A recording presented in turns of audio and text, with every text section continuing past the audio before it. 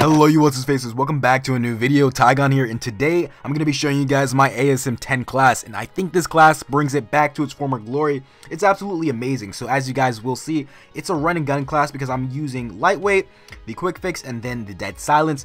You're pretty much unstoppable with this class if you have good movement. That's how amazing it is. And I, I don't know, like especially when you use the hip fire on this thing, the hip fire is super accurate as well as your ADS. And for my secondary, I'm definitely carrying the J358, and that's just because you can finish anyone off in one bullet, just because of how strong this gunsmith class is, and as you guys can see, everything else for the class. So let's get into the gunsmith, and this is pretty much what I'm using. We'll go back, and this is what I'm using for my J358 but to be honest this is not my perfected one. This is literally just to use for one shot. I just want it to be very accurate. But anyway that is my class.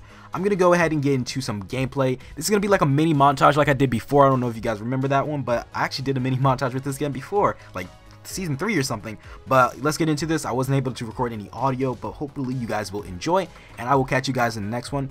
Please make sure to like and subscribe. We're on our way to 20,000 which I can't even that's insane to even fathom but hopefully this class does you well and I'll catch you later